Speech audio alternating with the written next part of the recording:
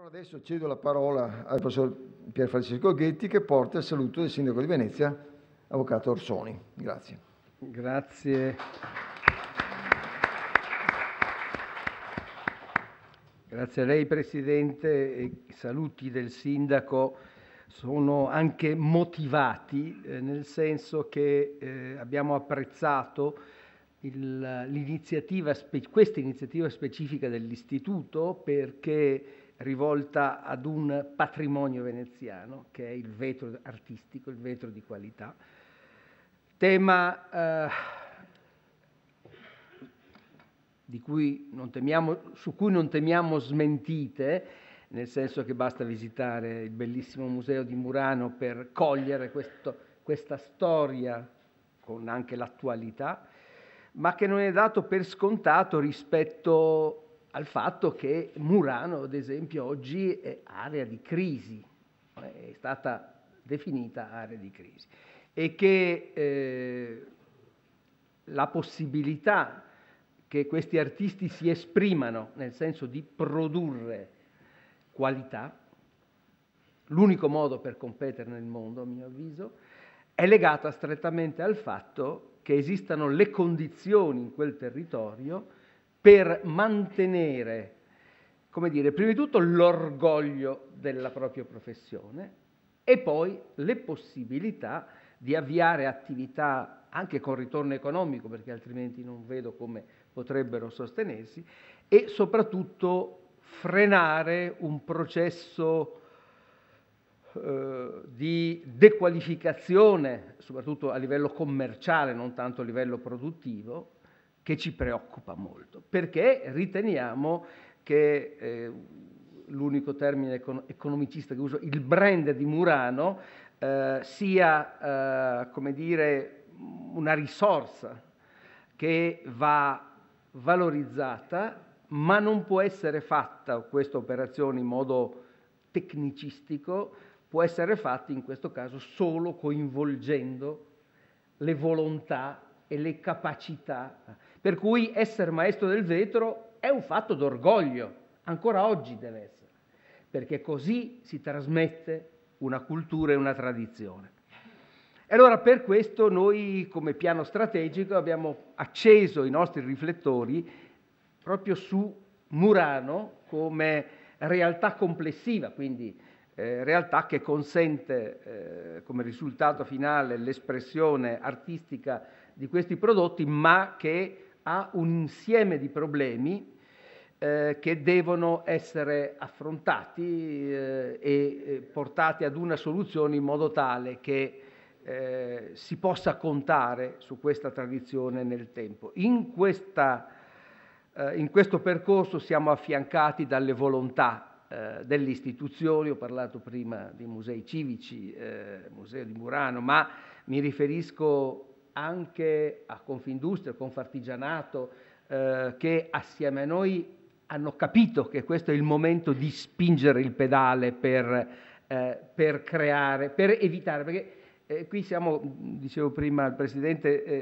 eh, è come per le specie rare. Una volta che sono scomparse non non ricompongono più, non compaiono più, cioè non c'è più la possibilità di ricostituire quel tipo di tradizione. Per cui eh, non si può scherzare su questo tema, cerchiamo anche di ragionare, qui poi con l'Istituto Veneto faremo anche un ragionamento un po' più organizzativo, stiamo anche immaginando un'operazione eh, di eh, rilancio a livello internazionale, a livello di, eh, chiamiamola una biennale del vetro, adesso poi il termine non è così, non vogliamo scimmiottare altre iniziative, però il livello a cui tendere è quello, non altro, per evitare che l'insularità eh, crei diciamo, problemi di chiusura al confronto, invece noi vogliamo che eh, il vetro di Murano, il vetro artistico di Murano si confronti con il mondo e acquisisca e dia al mondo. È l'unico modo per, eh, tanto per capirci,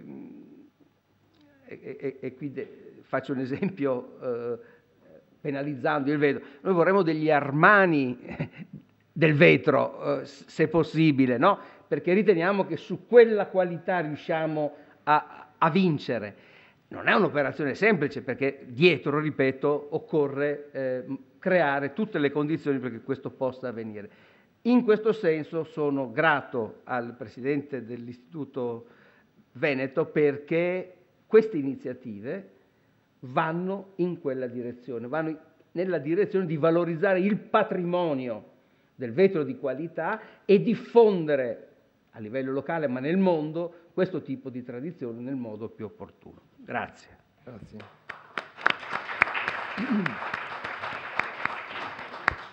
Ancora il piacere di dare la parola a dottoressa Gabriele Belli, direttore della Fondazione Musei Civici di Venezia. Grazie, grazie Presidente, buonasera. Io innanzitutto devo dire che sono molto onorata di essere in questa, qui in questa occasione, che per me è una delle mie primissime uscite pubbliche, quindi sono anche un po' insomma, proprio felice e anche un po' timorosa. Insomma. Tutti mi dicono che Venezia è una città complicata, dunque eh, sono comunque molto, molto interessata a questo straordinario progetto. Eh, perché forse eh, anche per la Fondazione Musei Civici il tema del vetro eh, da subito, da quando sono arrivata, cioè dal primo di dicembre, è stato uno dei punti cruciali di tutta la nostra discussione interna. Devo anche dire che è forse tra tutte le nostre sedi e le nostre specificità anche eh, quella disciplina, quel materiale, quella straordinaria diciamo, creatività e eh, mondo artistico sul quale la Fondazione sta facendo anche un grande sforzo. Io ho ereditato dal mio predecessore Gian Domenico Romanelli un bellissimo progetto, importante progetto, che è il progetto dell'ampliamento eh, del nostro Museo del Vetro che dovrebbe entro il 2013 2013 poter mettere a disposizione della, eh, della città, ma ovviamente di tutto il mondo internazionale interessato a questo particolare settore artistico, un museo completamente rinnovato con un'aggiunta significativa di spazio, il che ci fa ben sperare su un futuro eh, importante che possa proprio dalla, dall'impegno culturale, dall'impegno scientifico, dall'impegno del museo, eh, ristabilire verso, eh, diciamo, ristabilire una funzione altrettanto importante dell'impresa vetro. Chissà che eh, in questo paese una volta tanto non si possa far discendere veramente da un grande progetto culturale anche un ritorno forte di, dal punto di vista economico. Spesso sono state le grandi economie a sviluppare i progetti culturali e invece questa volta noi speriamo che in fondo il processo vada all'incontrario, ma che questo grande impegno della città, della fondazione, dell'istituto, ma anche di altri soggetti, leggevo anche la Fondazione Cini, ovviamente l'università. Ecco, io credo che eh, noi dovremmo anche fare una riflessione comune eh, perché eh, esiste secondo me la possibilità per ritrovare una leadership forte in questo campo, c'è anche la possibilità di immaginare eh, in via permanente un centro studi in via permanente e soprattutto pensiamo allo straordinario mondo degli archivi. Io per mia esperienza personale, forse quasi una deformazione per, eh, professionale, ho sempre amato molto i, eh, gli archivi, ho cercato di conservarli per il Novecento, il futurismo, eccetera.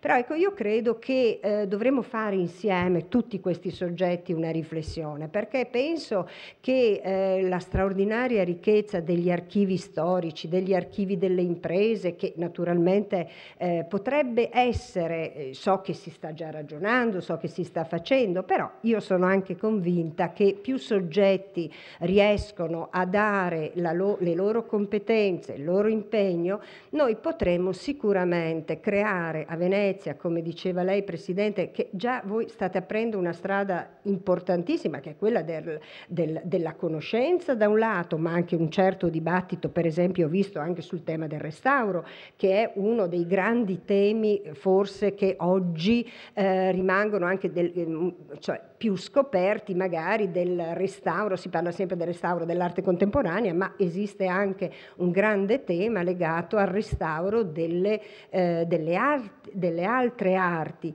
E quindi io, mh, mm, eh, come dire, eh, vorrei, mi piacerebbe, penso che eh, questa, questo problema vetro dovrebbe in realtà diventare un futuro vetro, no? Avere, darci la possibilità di eh, andare a creare davvero davvero insieme, laddove possibile o con apporti eh, congiunti, davvero un luogo che poi diventi e che prenda una leadership internazionale in questo campo. Io credo che la cultura davvero possa eh, giocare una carta particolarmente significativa e quindi, come dicevo prima, sperare che dalla cultura discenda anche una rinascita di questa straordinaria straordinaria eccellenza. Grazie.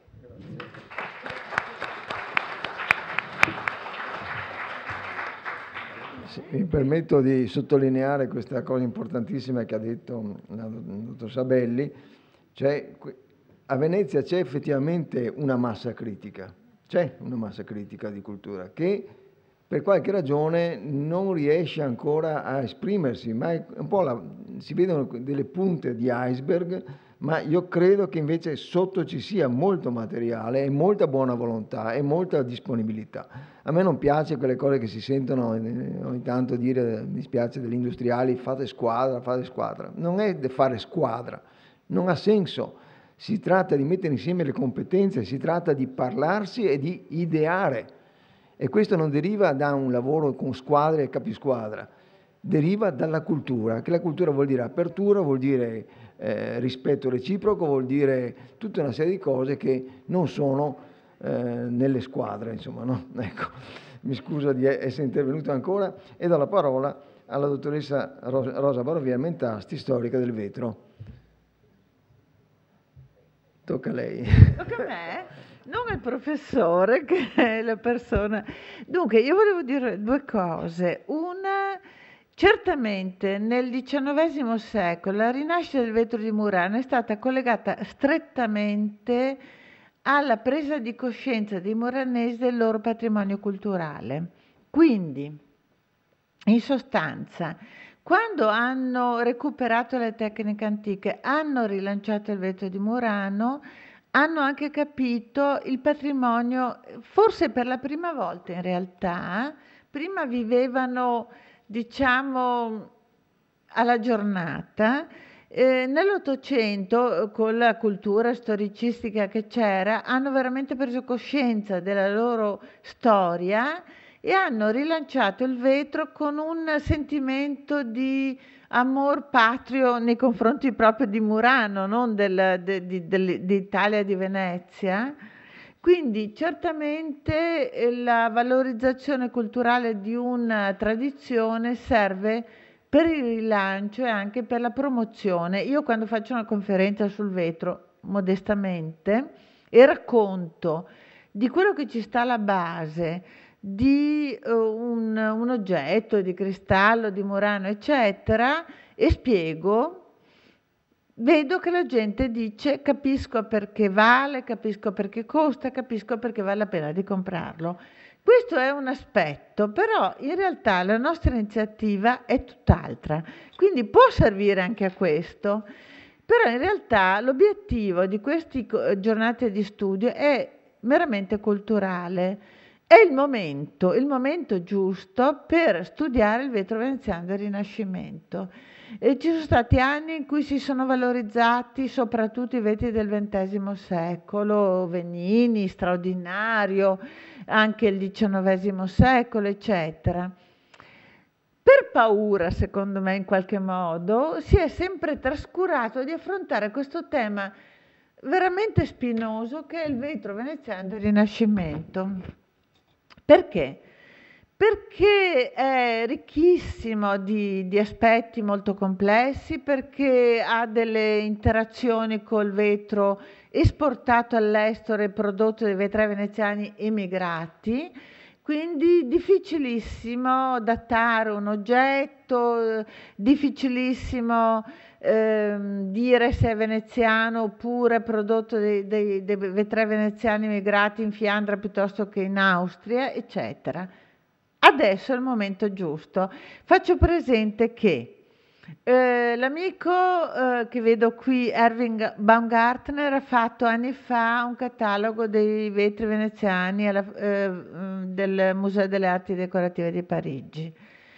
Ancora 30 anni fa un genio del, della storia del vetro, Hugh uh, Tate, ha fatto una bellissima mostra The Golden Age of Venetian Glass al British Museum, in qualche modo non ha preso in considerazione tutto l'enorme patrimonio del British Museum, comunque l'ha in qualche modo riordinato. Esistono delle collezioni meravigliose al, VNE, al Victoria and Albert Museum, al Louvre, eh, al Corning Museum of Glass e anche al Museo Vetrale di Murano, mai studiate a fondo.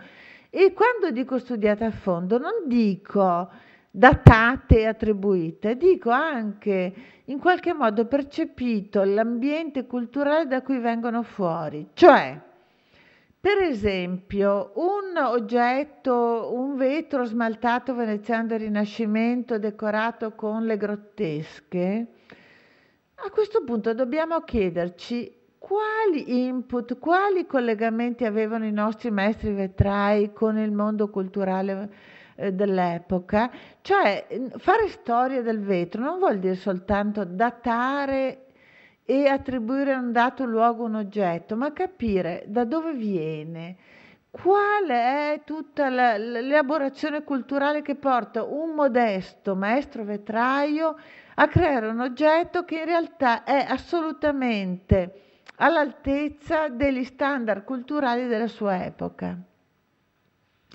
Quindi in qualche modo dovremmo, e spero che sarà fatto per il Museo Vetrario, non a caso il Museo Vetrario ha prodotto fino adesso i cataloghi dell'Ottocento, tutti hanno paura di affrontare il Rinascimento perché il Rinascimento offre tali varietà di, di, di, di problemi culturali eh, sulla origine, sulla elaborazione di certi modelli che eh, è veramente difficile affrontarli. Comunque io so che oggi come oggi il Victoria and Albert Museum sta eh, nella persona del nostro amico che è qui presente, Reinhold Lifkes, che è curatore di questa sezione del Victoria and Albert Museum, sta mh, mm, cominciando a, a, porre in internet la collezione enorme e meravigliosa del Victoria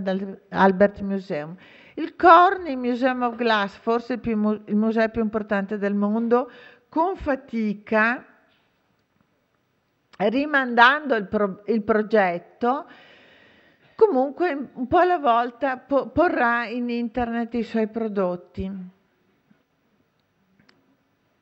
Io più mi addentro in questo, in questo, in questo, argo, eh, in questo tema, in questo campo, mi accorgo che eh, c'è di tutto nel mondo vetrario dell'epoca. Parliamo del, della seconda metà del cioè, Rinascimento, seconda metà del XV secolo e XVI secolo. Cioè c'è una capacità dei vetrai, persone ignoranti, ma non poi tanto perché erano, eh, sapevano scrivere, erano benestanti, avevano delle, non, non trascuriamo il fatto che c'erano le grandi ville dei nobili veneziani a Murano eppure delle collezioni antiquarie a Murano. C'erano le visite di un'Isabella d'Este piuttosto che di qualche Gonzaga, piuttosto di qualche re di, di Francia nel mondo, nelle ville muranesi, per cui i, le possibilità di contatto con la grande cultura c'erano. Per, non parlare poi di Vivarini che è di origine muranese e di altre frequentazioni molto importanti. Quindi fare la storia del vetro del Rinascimento non vuol dire soltanto dare una data e un'attribuzione a Murano piuttosto che a un, un luogo a Fasson de Venise, ma spiegare che è una cosa che più ti addentri, più affascinante, come e perché e quali fonti eh, iconografiche, stilistiche potevano avere i vetrai di Murano. Cioè è molto più complesso e più ricco lo studio di quello che potrebbe essere. Di conseguenza, l'Istituto Veneto ha avuto la bellissima idea di iniziare con un tema oggi molto approssimativo, 1500 circa, perché è stato un pochino deciso in fretta, nell'attesa di avere poi dagli studiosi che parteciperanno a questo convegno dei suggerimenti per le prossime edizioni su temi molto particolari perché oggi è il Rinascimento veneziano quello che sarà il tema futuro e devo dire che amici che si occupano di storia, di storia dell'arte, di collezionismo, non dimentichiamo le grandi edizioni sul collezionismo veneziano del, del Rinascimento che sono uscite in questo periodo, oggi il, il, il mondo veneziano del Rinascimento è, diciamo, un tema che piace a tutti. Io ricordo, mi ha portato l'amico Raino Lifkes un libro eh, del Victorian Albert Museum ehm, sulla vita nel Rinascimento in Italia. L'Italia e il Rinascimento sono un tema oggi fascinosissimo. Eh, non solo quindi la grande arte che in qualche modo è stata sviscerata, eh, benché mai del tutto risolta, ma anche la vita, gli eventi, la, la, i, gli oggetti d'arte, non di arte maggiore, che, erano, che popolavano le case del Rinascimento e che venivano anche vendute all'estero. Una curiosità, gli inventari veneziani del Cinquecento non presentano vetri, i veneziani, arrivati al, al, nel Cinquecento avanzato, non comprano vetri, però li vendono moltissimo all'estero.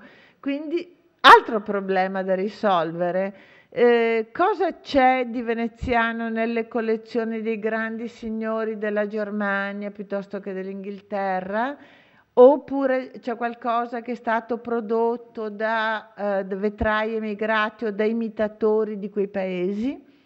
Quindi un tema meraviglioso che si allinea con tutte le pubblicazioni degli ultimi tempi sul Rinascimento italiano, eh, la vita nel Rinascimento in Italia, appunto delle mostre, delle cose bellissime, degli studiosi americani, inglesi che hanno affrontato questo problema. Diamoci una mossa anche noi, però con l'aiuto degli amici stranieri che vengono qui che per tre giorni discuteranno con noi, che ci proporranno dei temi che a loro interessano e che un domani metteranno in internet o pubblicheranno dei libri su questo argomento. Quindi speriamo che tutto sia supportato dalla città, dalle istituzioni culturali, perché onestamente eh, fino a questo momento il Novecento è stato un pochino il grande argomento di interesse dei collezionisti, parliamo di, dei meravigliosi Carlo Scarpa, Ercole Barovier, Tommaso Buzzi, tutti quelli che hanno fatto il grande vetro del Novecento. Forse in questo momento ne sappiamo abbastanza. Perché non torniamo indietro e affrontiamo questi grandi misteri, questi grandi interrogativi di questo meraviglioso vetro che, e chiudo con questo, ha dato il là a tutta la vetraia d'arte del mondo, del, dell'Europa, perché è da Venezia che c'è lì. Poi è chiaro che l'Inghilterra sviluppa un suo stile, che la Boemia pure, ma il grande input, il grande stimolo viene da Venezia, poi per poi svilupparsi in paesi che hanno tra l'altro dei supporti politici molto più importanti di quanto li abbia l'Italia, che col Cinquecento un pochino viene devastata e finisce e, e conclude il suo ruolo di grande propagatore della cultura, però eh, quando abbiamo il cristallo inglese nasce dalla pubblicazione di un vetro di un toscano che però lavora con i vetrai veneziani, quando abbiamo il vetro boemo è perché i boemi sanno, imparano dai veneziani come depurare le ceneri sodiche per fare il cristallo. Quindi in qualche modo grandissime eh, tradizioni all'estero, non inferiore a quella di Venezia, però quella veneziana è, eh, dopo quella islamica, quella che dà là alla grande tradizione culturale del vetro, e non trascuriamola perché in realtà esistono pochissimi libri sull'argomento. Per, eh, diciamo, per assurdo dico che il vetro veneziano del Rinascimento è il più famoso e il meno conosciuto. Cioè tutti conoscono, che so, la Coppa Baroviera piuttosto che altri importantissimi oggetti che sono nei più bei musei stranieri italiani, però ne sappiamo pochissimo, come sono nati, da quale eh, stimoli culturali, eh, in base a quali stimoli culturali sono stati elaborati e, e così via. Per cui è il momento giusto per iniziare queste giornate di studio e continuare. Grazie.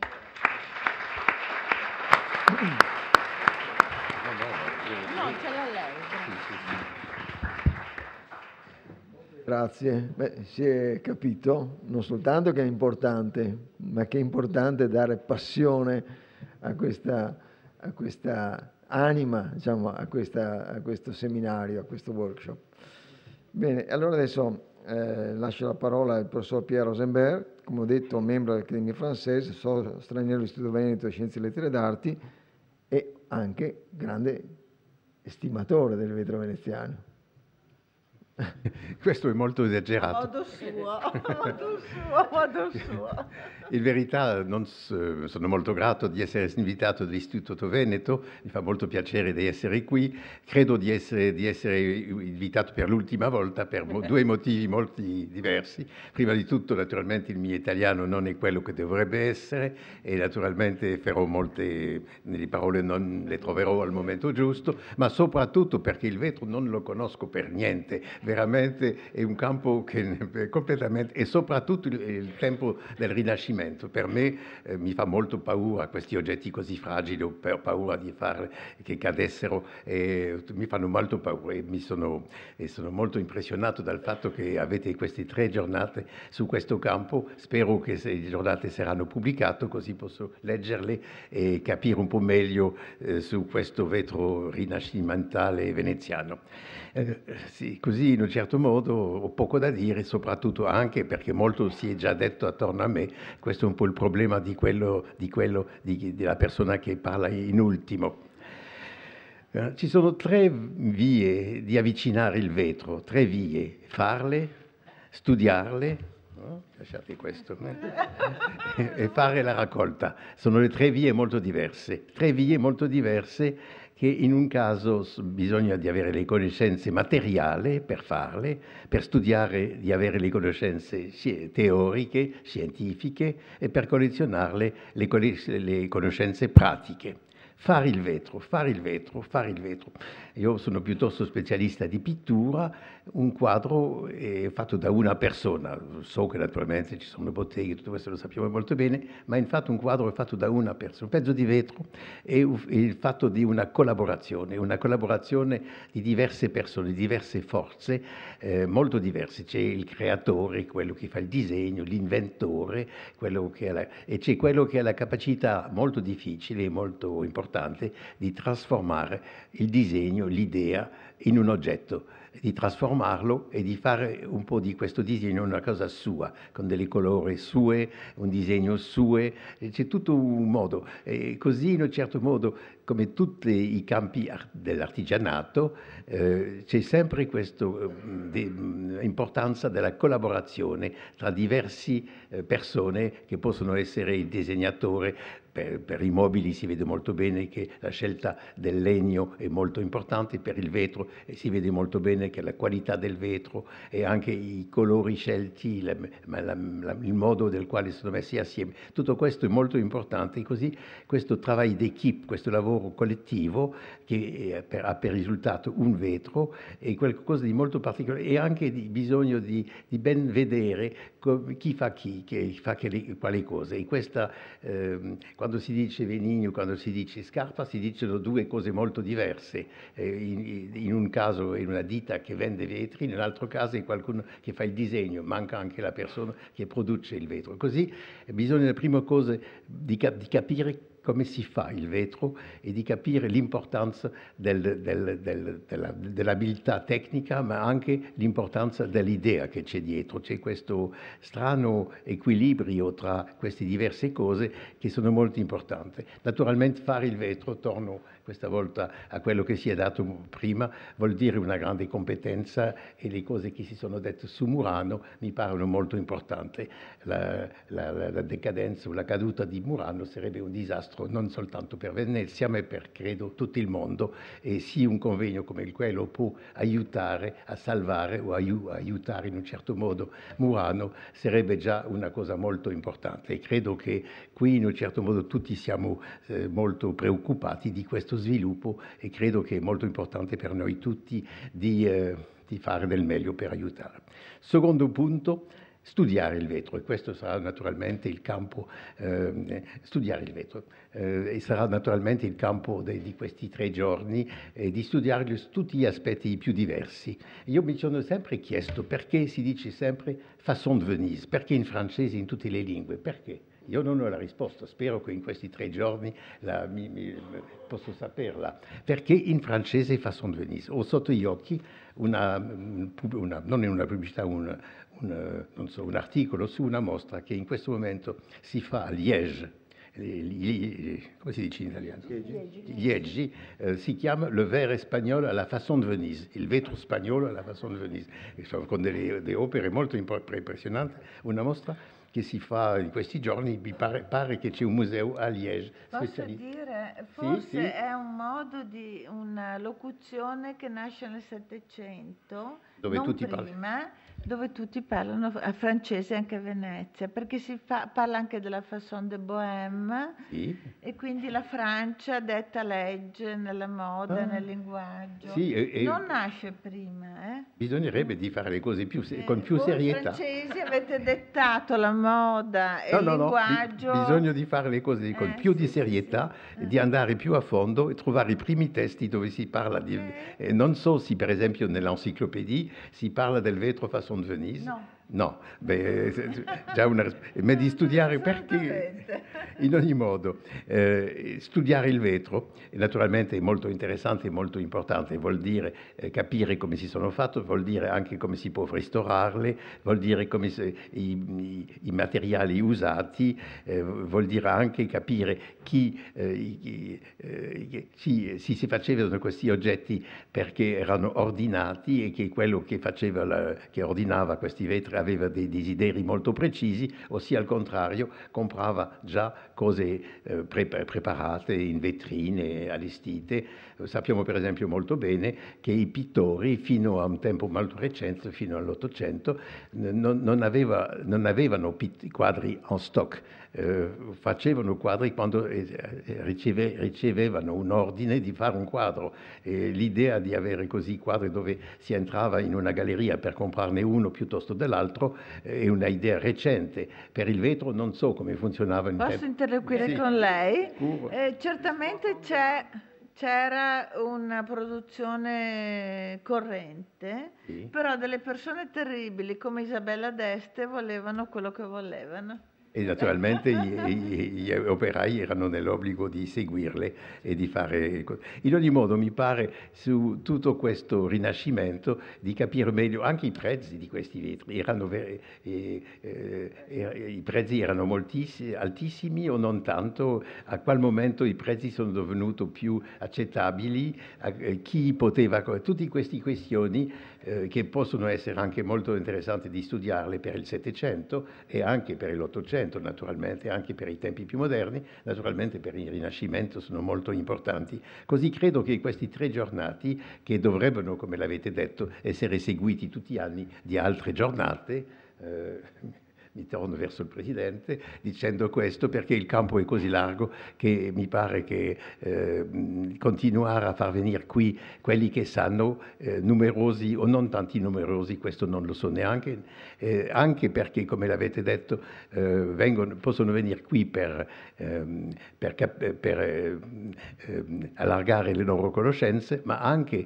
per, ehm, tornando in patria, capire meglio le risorse locali e come si può con le risorse locali capire meglio le cose che sono sotto la loro eh, dipendenza, la, sotto la loro autorità.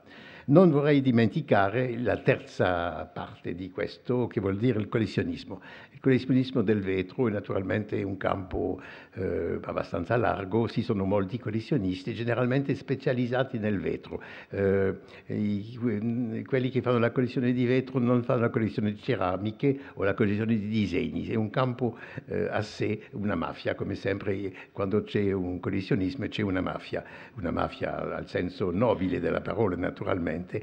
Il collezionismo del vetro ci sono quelli che fanno la collezione del Rinascimento e ci sono quelli che fanno la, la raccolta di una ditta, la, la Venini per esempio, come avete e io faccio modestamente la collezione di animali di vetro, anche i più brutti mi piacciono. Eh, eh, perché io credo che in una produzione come quella di, di Murano eh, è interessante non soltanto di interessarsi ai grandi nomi, ai grandi creatori, ma di, di capire un po' tutto, tutto eh, i, i, i, piccoli dite, quelli che vogliono inventare qualcosa che non riescono, e tutto questo mi pare interessante. E il collezionismo del, del, vetro è naturalmente molto popolare, eh, ci sono in Francia naturalmente quelli che fanno la collezione delle, delle, grandi ditte francesi, la Lick, eccetera. E questi collezionisti sono soprattutto in Giappone, infatti. Non so se in, Giappone, in Giappone anche ci sono collezionisti di vetro veneziano, lo so molto bene.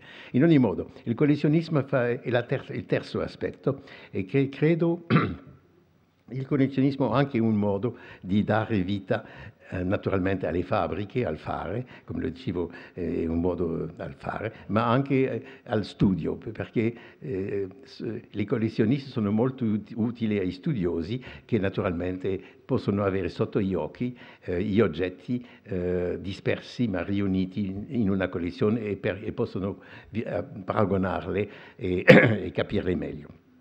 In verità, ho parlato di, di questi tre modi eh, di avvicinare il vetro, mi pare che in verità c'è un quarto modo di avvicinarlo e qui siamo tutti assieme per questo quarto modo che è amarlo. Come si può amare il vetro? Eh, è una pratica e anche di un modo di, di avvicinare eh, tutto questo mondo del passato e anche di oggi e, e, di, e di, eh, capire che dietro questo eh, vetro ci sono delle forze molto diverse ma che tutti hanno avuto anche loro l'amore del loro mestiere. E amare il vetro è anche, mi pare, eh, dare un omaggio a, quello, a quelli del passato che si sono dato così a fondo nel studio della creazione e della protezione di questo vetro, anche della protezione di questo vetro. Vi ringrazio.